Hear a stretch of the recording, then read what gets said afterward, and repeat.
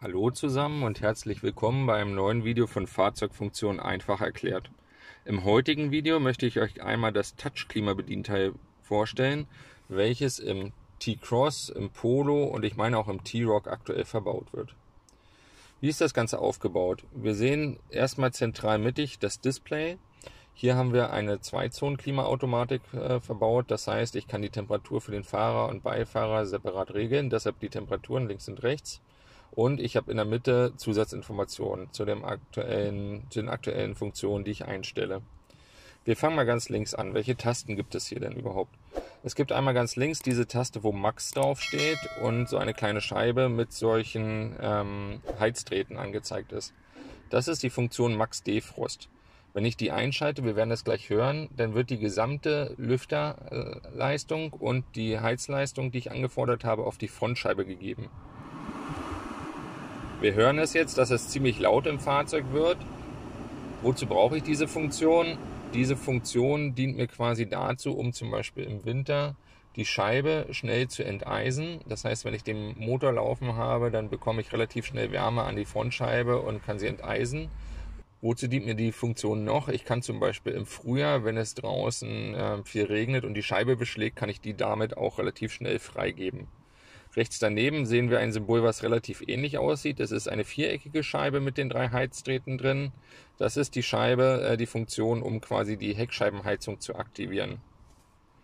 Momentan funktioniert es hier nicht. Ähm, warum, weiß ich nicht ganz genau. Ihr würdet dann hier oben ein gelbes Lämpchen genauso sehen wie eben bei der Taste Max Defrost und die Heckscheibe würde dann auch dort enteisen oder zum Beispiel Beschlag entfernen. Dann haben wir rechts davon eine Taste, dort steht AC dran, die ist gerade an mit diesem Lämpchen. Das ist die Taste, um den Klimakompressor anzumachen. Wenn ihr diese ausmacht, dann läuft der Klimakompressor nicht mit und ihr habt quasi eine normale Lüftung in eurer Klimatisierung. Wenn ihr aber das äh, Gefühl haben wollt, zum Beispiel im Sommer, dass die Luft super kalt wird, dann müsst ihr auf jeden Fall AC aktivieren. Rechts daneben gibt es eine Taste, die nennt sich Umluft. Das ist so ein kleines Fahrzeugsymbol mit einem angedeuteten Pfeil in Kreisform. Das heißt nichts anderes, als dass von außen keine Frischluft dazugeführt wird, sondern die Luft im Fahrzeug umgewälzt wird. Das ist relativ hilfreich, wenn ihr über Land fahrt und draußen es zum Beispiel nach Kudung riecht oder irgendwelche andere Gerüche in der Luft liegen außerhalb des Fahrzeugs. Dann könnt ihr euch davon abschotten, indem ihr diese Taste betätigt.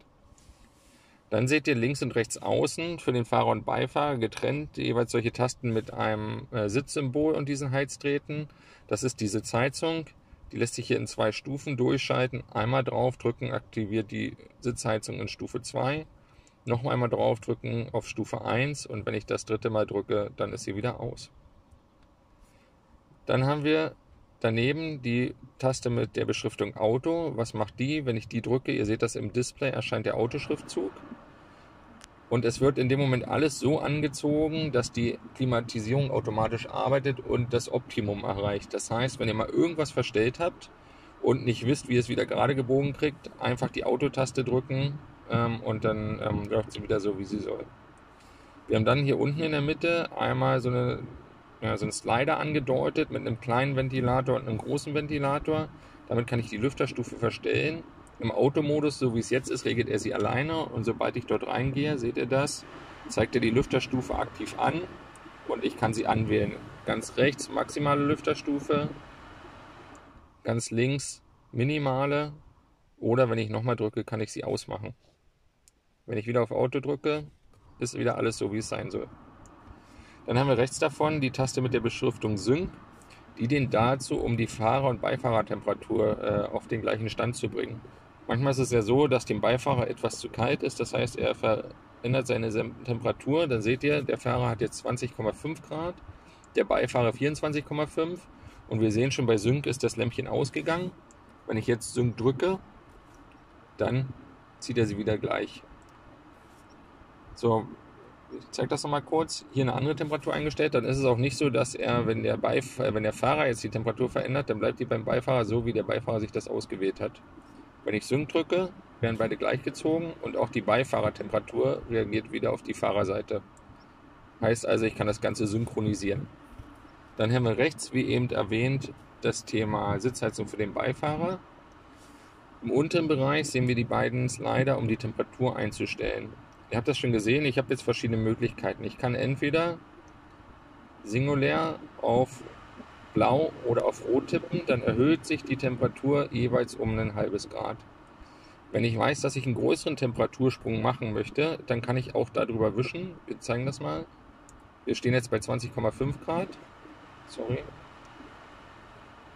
Oder bei 20 Grad. Und wenn ich jetzt wische, dann mache ich ungefähr 4 Grad plus über die gesamte Breite. Wenn ich nochmal wische, bin ich bei 28. So, und ihr habt schon gesehen, was gerade passiert. Man kann natürlich auch lang auf die eine oder auf die andere Seite drücken. Das heißt, wir sind jetzt bei 28 Grad, draußen ist es richtig warm und ich möchte eigentlich die maximale Kühlleistung. Da muss ich nichts anderes machen, als lang auf Blau drücken. Er rammt langsam runter, dann steht Low da und Low heißt absolut kühl. Gib mir das, was geht. Das gleiche funktioniert auch in die andere Richtung. Wir haben jetzt Winter, draußen es ist richtig kalt und ich möchte eigentlich super warme Luft.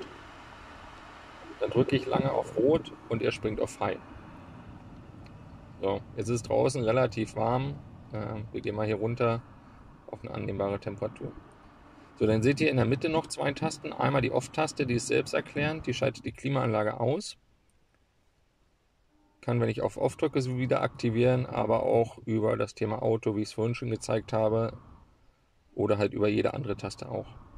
So, dann gibt es auf der rechten Seite hier eine Taste. Damit kann ich quasi manuell einstellen, wo die Luft rauskommen soll.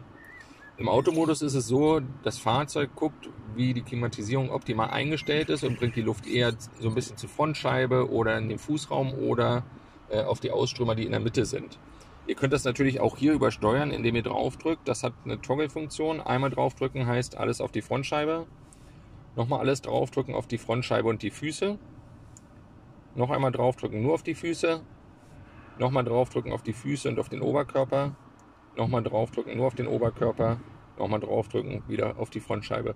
Ihr seht, ihr toggelt quasi von unten nach oben durch. Und bei jedem Mal klicken bekommt ihr äh, eine andere Position dazu. Auch hier ist es jetzt wieder so, wenn ich eigentlich das Optimum aus der Klimaanlage rausholen möchte, drücke ich wieder auf Auto. Ja, das soll es an dieser Stelle zum Thema Touch-Klima-Bedienteil gewesen sein. Wenn euch das Video gefallen hat, hat, dann lasst doch einen Daumen nach oben da, abonniert den Kanal. Wenn ihr Fragen habt, kommentiert gerne unten drunter unter dem Video. Vielen Dank fürs Zuschauen.